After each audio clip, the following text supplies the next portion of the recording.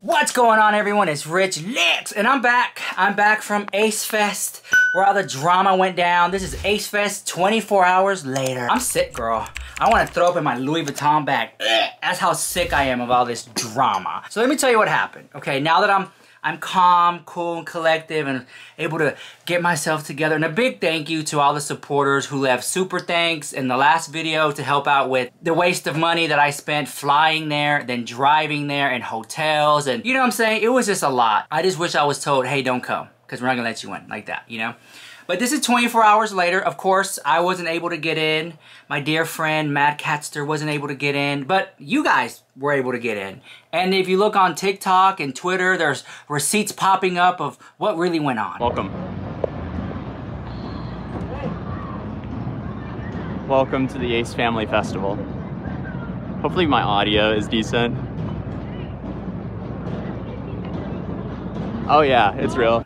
And what's really interesting is the ticket sales. Now, no, let's not forget that Ace Family had said that there will be free games and prizes. Well, here's a receipt we got from TikTok. My friend is asking how the prices work. And then um, for the notepad, one the water, right here as well.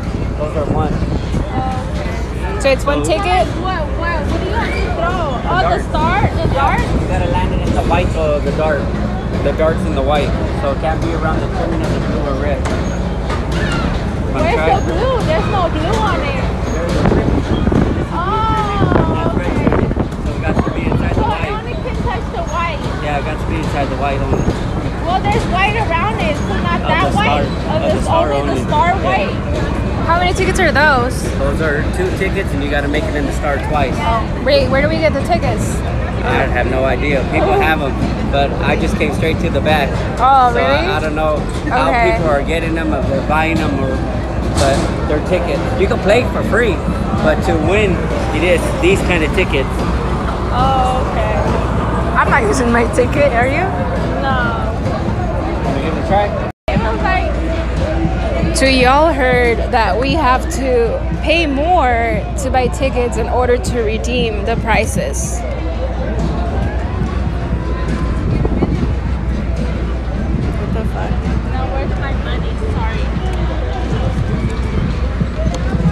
It is so fucking hot right now. If you've ever been in Lancaster um, Fairgrounds, you know it's fucking hot as fuck right now.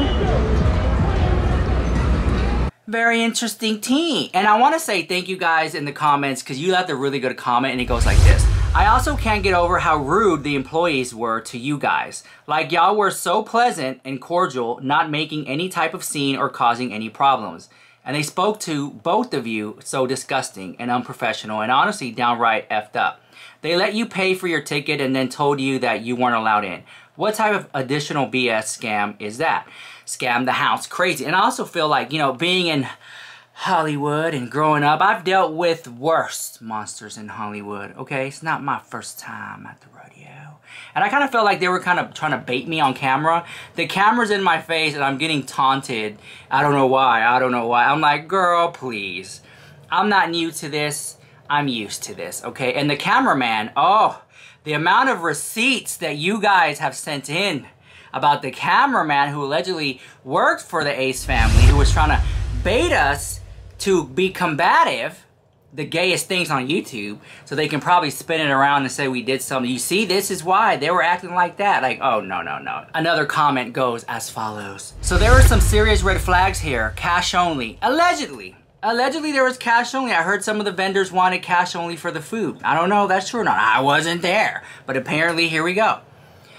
Sounds like they either are trying to hide income or they couldn't get the place on credit and they wanted it cash, only to ensure they got paid. They're eliminating anyone who could find fault with their, what they're doing. Three, it's tiny. Four, bait and switch regarding parking prices and being included. Five, bait and switch on the size of the function being held. Six, having their camera crew instigating issues with people likely for the sole purpose of developing a fallback for why it failed, like they were being targeted. Kicking you out and not giving a refund is just grimy. They didn't do it prior to you going all the way there. If there were people who weren't invited, they should have public made it clear to you to be removed. The whole thing is one big breach of contract. They are snakes out to get money and screw people out of money because they mismanage their finances. You know, I really did try to keep it classy. These are the opinions of you guys in the comments, and I just want to say, it really, it really is moving to, uh, damn, my last girl. It really is moving to have people like Mad Catster, T-Sesh, Tea Spill, Adam McIntyre, so many more. I mean, we got Dustin Daly, Peter Monn, Sloan, and the countless other names that, that, that I'm just off the top of my head, so forgive me.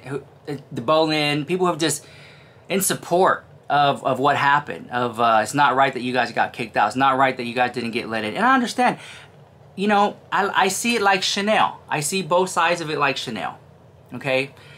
I was in courtroom and courtside. Like, I understand it. Maybe they see it as, we don't want the bullies coming to our party. I don't see myself as a bully. There have been other commentators who said worse things about them. I just literally wanted to go to the festival. I drove two hours, flew three hours, hotel room and board and food. I just want to go to the festival and see what it what it is, what it do, what it what is it about. Because if there's truly nothing that is a problematic about it, there's nothing to report.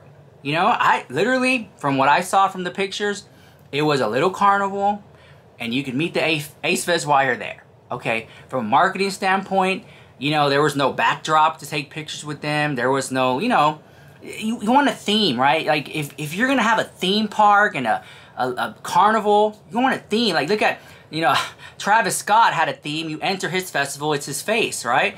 Like, you want big budget production. If you're gonna do it, I'm from Texas, girl, so go big, go home. The bigger the hair, higher the God. Just go big. Make it, make people be like, oh, they spent a little coin up in here. But to me, just seemed like, let's rent some rides and let's have a little festival, right? I was not there to cause drama. Drama follows me. I simply was there to record what was happening.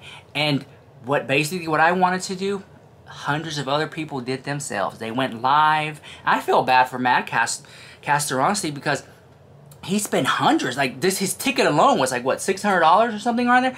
Like he spent a lot of money. My little piddly hundred thirty dollars for the ticket wasn't nothing. I bought it the day before, which you could still purchase tickets the day before. I thought it was sold out. Remember, it's just interesting to me. And then you got uh, other people. You know, I'm not even gonna go. There. I'll let them speak for themselves. But you know, all I can do is speak for me.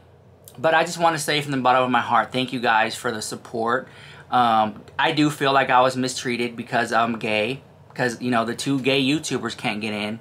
Harmless gay YouTubers just reporting the news. And you know what? I do feel like it is kind of sad on the Ace family. Because, you know, from a marketing PR standpoint, I do feel like if the Ace family was smart enough, they would have been like, hey, uh, let me reach out to these channels. Let me invite you. I got you. Come for free. I want to prove to you that there's nothing shady going. It's a fun little carnival, girl. That didn't happen. You know, been in Hollywood, celebrity news and gossip for years. I've talked about the big ones. And guess what? Still get invited to their functions and parties. There's no drama. They understand it's a gig. They understand it's a it's a sword that cuts both ways. One day this press loves you, next day they don't love you, and they love you again. Like it's you know what I'm saying? It's just I'm media, I'm press. Some people don't like media and press. Some people use it to their advantage to get popularity and hype. You know, I do think that it is easy to to you know point fingers at the Ace family because they did X, Y, and Z. I really do think so. But this was an opportunity for the Ace family to turn the tide to say, you know what, there's nothing going on here and let me meet you and maybe let's take a photo if you want to. But what it comes down to me is too much arrogance, ego, and pride. And the fact that they don't let some people in. The fact that they view any type of criticism as haters, drama, toxic, bad vibes. How are anyone supposed to grow if you can't do it? People have questions. And you know what? I'm to be 100% authentic in this video. I don't follow the Ace Family drama. I have, what, over 2,000, 3,000 videos on my YouTube channel. Majority of them are Shane Dawson, Jeffree Star, James Charles, beauty drama, reviews, stuff like that. I only have like, what, four or five Ace Family videos?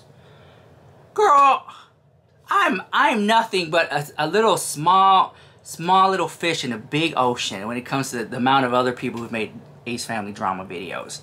Now, Mad on the other hand, he's made he's made a lot of videos about him, but I think for him in particularly, they should have been like, that's the one we want. This guy's making a lot of noise on YouTube about us. I want to bring him in. I want to talk to him. I want to prove to him that what we got going on here isn't shady. And maybe it was all just a misunderstanding. Okay? I don't want to fight with anyone. I don't want drama with other YouTubers.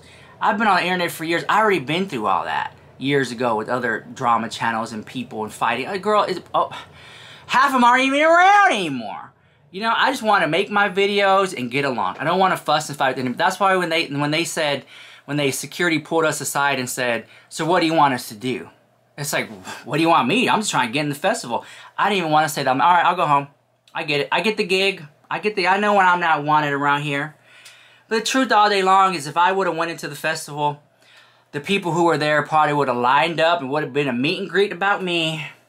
Who knows? I could have had them lined up from here all the way to the 105, to the 304, to the 308, girl, all the way down that freeway. But, you know, some people, they just have to be the only star. It would have been cool. That's why we all should just start DramaCon. DramaCon 2022. We'll have it in Las Vegas in the in the Cosmopolitan Ballroom up there, girl. We'll have about we'll sell about five tickets, and then no one will get their money back. And just, you know, that's the drama. We're gonna have DramaCon. We're gonna sell tickets and merch, and the day of, no one's gonna show up. That's you got got con. It's that's the drama, girl. But anyways. I just want to say thank you guys for, for the love and support. And thank you to my sponsor, Manscaped. I'll put the link down below for sponsoring me and helping me get through these tough economic times. That's, you know, it really it really did put a dent in my pocket flying out here to Hollywood for uh, absolutely no reason at this point. But you know, when I think when I think about it, I wouldn't have wanted any other way. Because if I would have went to the festival, I would have recorded on my little phone, my little my harmless little. I recorded. All right, there's food, there's restroom, there's some games, there's Ace Family down there or something. Yeah, I'm gonna ride a ride. All right, cool. See you later. No new report. It is what it is. Kind of small. Born the house. The fact that I got kicked out, didn't get let in. Girl, talk of the town. Talk of the town. Everyone in Hollywood and Beverly Hills, we're talk of the town. Did you hear about the drama channel got kicked out of Ace Fest? And they're gay, the two gay ones. Ooh. Oh my god. Anyways, we'll see. I'm sure the Ace Fest Ace Family will put up a video on their YouTube channel and they'll have amazing footage of people having fun and just the crowds and crowds of people who were there. And you know hype it up with b-roll and stuff like that and music. And it was so great guys. We're gonna have one next year. We'll see. See how that goes. But and good for them. And good for them right? No ill will. I was just there. You know i love theme parks if you watch my Instagram story, I'm at Universal Studios Hollywood. I'm at Disney. I love Knott's Berry Farm, even Magic Mountain. Like, girl, I'm at them all. I love a good theme park. I, my opinion, this was a little carnival inside a parking lot, and they slapped Ace Fest on it. I knew that going into this. I already knew what it was. Okay, I didn't fall off the turnip truck yesterday. I already know. But I wanted to see it for myself. I wanted to go live. I wanted to hang out. Interesting, they let other YouTubers in who make way more worse videos than I ever did. Just interesting. Maybe, maybe I, maybe I got kicked out because Matt, I was with Mad Catster, but this is interesting. The whole, the whole ordeal was very interesting, though. And I really want to know what you guys think about it in the comments down below. And um, and again, I just I just can't thank you enough for the outpouring. Every like, every you know, I can't get a like to save my life. I can't get a comment in this video to save my life, much as a subscriber. But I love you guys. But thank you guys for yesterday's video. I was I was really I was really taken back by the love and support of the drama community, of the beauty community, of um this the, community in general. Because we may not always get along, but you know if, there, if something ain't right, you know I like to think that we tend to band together, and I like to thank the the viewers too. You know, watch who you want to watch, like who you want to like, and support who you want to support and I just want to say thank you because I saw some comments from people that I haven't that I haven't seen in years this like oh my god believe this happened to you? So thank you so much. Thank you so much for that. And it just means a lot. And again thank you to my sponsor Manscaped. And you know it just it really it really warms my heart, and I, I don't want it to be missed upon me that I, I don't want to be those YouTube, that type of YouTuber just, you know, doesn't say thank you. Is you know, I would be nothing wasn't for you guys. I wouldn't even been able to come on this trip. It wasn't for you guys, even though it didn't go the way I planned. But just the, just thank you for that. You know, every every view, every like, every share really helps out, and it, it just from the bottom of my heart. Most importantly, thank you for the privilege of your time for allowing me to come out here and do it. And if I have any, if I have any words to the Ace family, I would say I didn't mean any trouble. I, I don't I didn't want to bring any drama. I just want to have a good time and see what the festival was about. But apparently, I mean, there's there's videos on TikTok going viral about stuff that injustices and things they didn't like and and even videos on YouTube and clips and stuff like that. And so I don't know. Very interesting how it all went down and I am hurt by it. You know, I've never really been like not let in into some place cuz I feel and my I feel I wasn't let in cuz I was gay. I feel that way. Two gay YouTubers, the only two gay ones can't come in. That's how I feel and I'm allowed to feel that way. Whether the Ace family would ever apologize, I don't think so cuz you know, apparently some of these YouTubers, they can't apologize, say they're live. They have too much arrogance, ego and pride, but you know, it just it would have been it would have been more I would have taken it easier if maybe security would have said, this is why we're not letting you in, or we don't want no tra drama, we don't want any of that. So, you know, just keep it cute, keep it cute, you know, something like that. But just to be like how they handled it, and the and I have I have it all on video. There there can be there can be because you know, girl, I can I'm I'm I walk like this everywhere. You got something to say? I'm right here. Keep it real you they cannot say that I did this, I did that, because the moment I got out the car in the parking lot, I was already vlogging. This is Ace Festival. Here we go. I'm gonna go pick up my ticket from the moment. They can't say I was disgruntled. I was angry. I was rude because I have it all.